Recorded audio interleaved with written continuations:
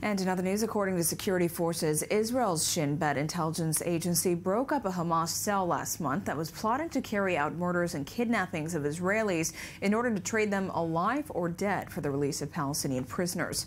A total of six suspects, of which we are seeing the photos of three of them, allegedly planned to carry out a copycat kidnapping and murder of three Israeli teens in June 2014. In a joint Shin Bet IDF uh, police operation, residents of Hebron and East Jerusalem were arrested on December 15th.